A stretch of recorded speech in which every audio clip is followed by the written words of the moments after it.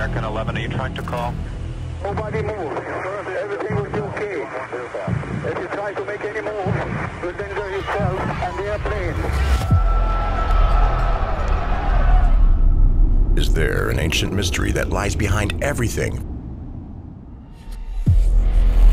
From 9 11 to the plague of COVID 19? The forces that are now transforming American culture and world civilizations. Are the shakings that have come upon America and the world a warning? A wake up call of something yet to come, and that leads to calamity.